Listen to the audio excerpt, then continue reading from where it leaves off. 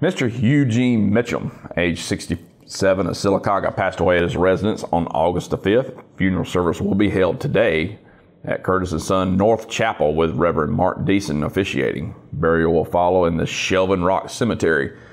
Visitation, visitation will be held Friday from uh, 12 to 2 at the funeral home. Mr. Mitchum is survived by his sons Brian Mitchum and Brad Mitchum, stepson Joey Hay, stepdaughter Carolyn Hay, sisters Sue Northcutt and Pat Epperson, grandson Jacob Brian Mitchum. Mr. Billy Dave Ernest, Sr., age 80 of Harpersville, passed away Wednesday on August 9th at Grandview Medical Center.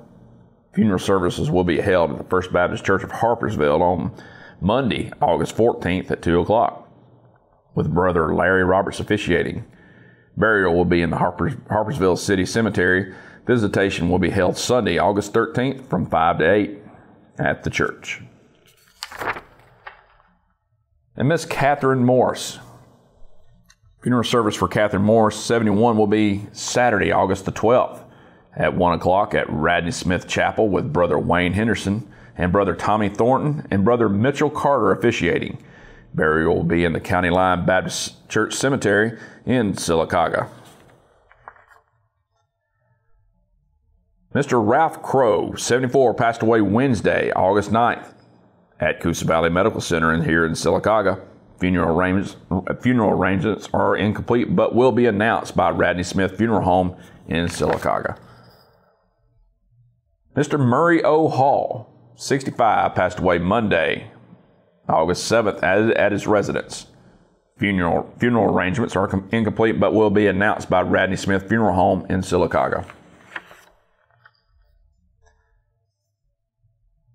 Mr. James Matthew Matt Woodruff, 33 of Alexander City, will be today at 6 o'clock at the chapel of Radney Smith Funeral Home with Randy Anderson officiating. The family will receive friends today from 4 o'clock to 6 o'clock at Radney Funeral Home. Miss Eileen Phillips, 91 of Alexander City, will be Saturday, August the 12th at 11 a.m at the chapel of Radney Funeral Home.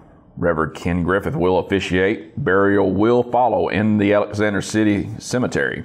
The family will receive friends on August the 12th from 9:30 a.m. to 10:30 a.m. at Radney Funeral Home.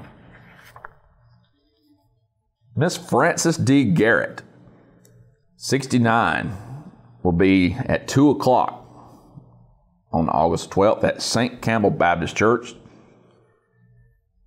Interment will be at the ch- in the church cemetery. Miss Garrett will lie in the state at the church one hour prior to the service.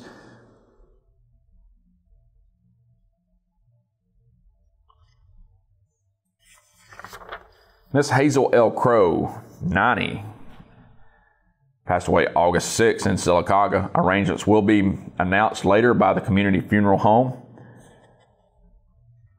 And that's our obituaries from Curtis and Son Funeral Home here in Sylacauga, the North Chapel, and in Childersburg. And uh, if you ever need anything, give uh, give the guys at Curtis and Son Funeral Home a call at 256-245-4361. And that's our obituaries for Friday, August the 11th.